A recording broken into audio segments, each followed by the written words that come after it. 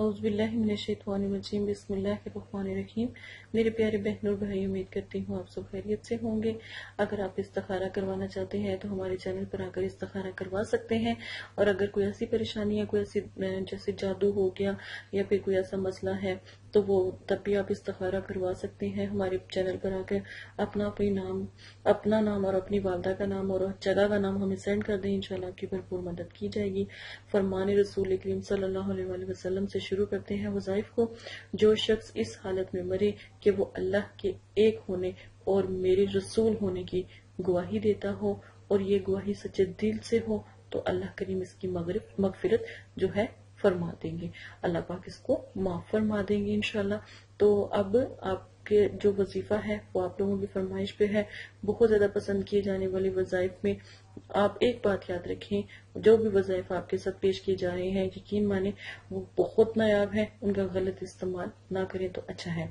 بہت پیارا وظیفہ ہے۔ اگر آپ اس کی قدر جانیں گے تو میرا نہیں خیال کہ آپ کو کسی اور وظیفے کی ضرورت پڑے گی۔ آج میں آپ کو کالی مرچوں سے ایک عمل بتاؤں گی۔ بہت آسان عمل ہے، بہت پیارا ہے۔ کسی کو بے چین کرنے کے لیے، کسی کی مطلب کہ کوئی آپ سے نفرت کرتا ہے یا آپ سے محبت نہیں رکھتا یا آپ کو ہر وقت تنگ کرتا ہے تو اس کے لیے وظیفہ ضرور کریں اور یہ یقین مانیں کہ آپ کی سوچ ہے کہ کتنی طلب اور تڑپ پیدا ہو جاتی ہے۔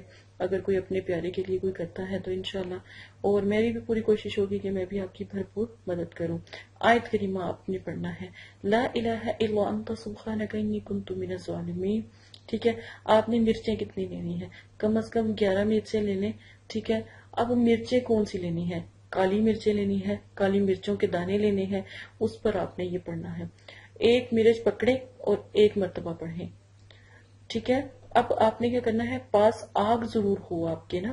ایک مرچ پکڑے اور ایک مرچ پہ پڑھیں۔ لا الہ الا انت سبحانک انی کنت من الظالمین اور وہ آگ میں ڈال دیں۔ ٹھیک ہے؟ اس طرح کرتے کرتے آپ نے کم از کم گیارہ جو مرچیں ہیں، وہ آپ نے اسی طرح آگ میں ڈال دینی ہے۔ پڑھ کے۔ انشاءاللہ یہ وظیفہ ہے ایک دن کا ایک سے تین دن کا یہ وظیفہ ہے۔ انشاءاللہ آپ جس کے لیے یہ وظیفہ کر رہے ہو یا آپ جس کو مسخر کرنا چاہتے ہو، اتنا بےقرار ہوگا کہ فوراً آپ سے رابطہ کرنا شروع کرے گا۔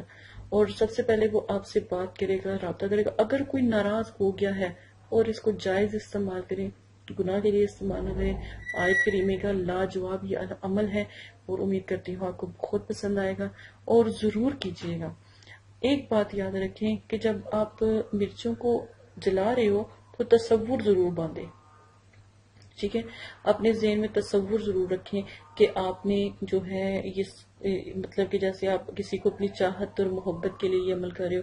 اب جیسے میاں بیوی کا بھی ایک ہو جاتا ہے کہ میاں بیوی میں لڑائی ہوتی ہے، جھگڑا ہوتا ہے شوہر جو ہے اپنی بیوی کو مارتا ہے، بہت تنگ کرتا ہے۔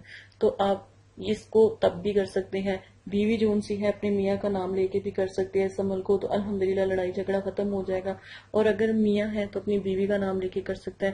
تو یقین مانے، اگر کوئی خدا نہ خاصا بیوی ناراض ہو کے چلی جاتی ہے یا کوئی میاں ناراض ہو کے چلا جاتا ہے، فوراً واپس آ جائے گا۔ الحمدللہ، اللہ کے کرم سے ایک دفعہ یہ وظیفہ ضرور کریں۔ نام ضرور لیں۔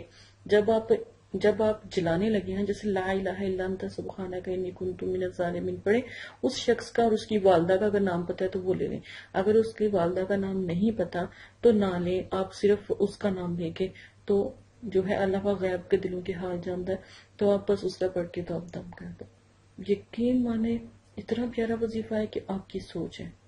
اور یقین مانے یہ اس طرح کام کرتا ہے، یہ جو مرچوں کی آگ ہوتی ہے جن مرچوں کو پڑھ کے آپ نے نام لے کے آگ میں ڈال دیں، وہ اتنی ہی آگ ان کے دل میں لگتی ہے اور وہ فوراً آپ سے رابطے کرنے کے لیے بےقرار ہو جاتے ہیں۔ جب تک وہ آپ سے رابطہ نہیں کر لیں گے، وہ آپ سے بات نہیں کر لیں گے، ان کو سکون نہیں آئے گا۔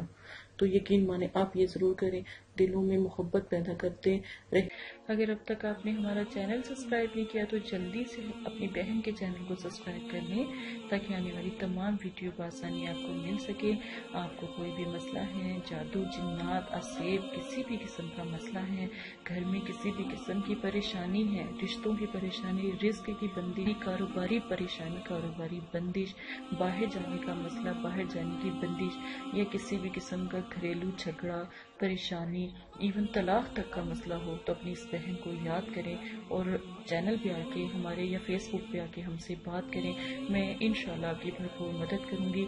کسی بھی قسم کا جھگڑا ہے، کسی بھی قسم کی شادی کا مسئلہ ہے، بچوں کی شادی کا، پیار کا، محبت کا، کسی بھی قسم کا، اپنے پیاروں کو پانے کا، کسی بھی قسم کا مسئلہ ہے، اپنی اس بہن کو یاد کریں۔ انشاءاللہ آپ کی بھرپور مدد کی جائے گی۔ اور احادیث کو پھیلائیں۔ نبی پاک صلی اللہ علیہ وآلہ وسلم کی امتی ہونے کا فرض نبھائیں۔ اگر آپ کو حدیث سنتے ہیں اور اس کو آگے بھیج دیتے ہیں، اس سے ہو سکتا ہے کہ آپ کی پوری نسلیں سبر جائیں۔ آپ کی آل اولاد اور آنے والی نسلیں اس حدیث کا فائدہ اٹھا سکتی ہیں۔ لوگوں تک جتنی بھی میری ویڈیوز ہیں، وہ پہنچائیں تاکہ ان کو حدیث سننے کا موقع ملے، جو میں پریشانی آپ کی حل کرنے کے وظائف بتاتی ہوں، عمل بتاتی ہوں، وہ بھی لوگوں تک پہنچیں گے اور لوگوں کی مدد ہوگی۔ اور ایک انسان کی جان بچانا یا پریشان حال، ایک انسان کی پریشانی کو ختم کرنا ایسے ہیں جیسے پوری دنیا کی خلقت کی پریشانی کو ختم کرنے کے برابر۔ جزاک اللہ خیرہ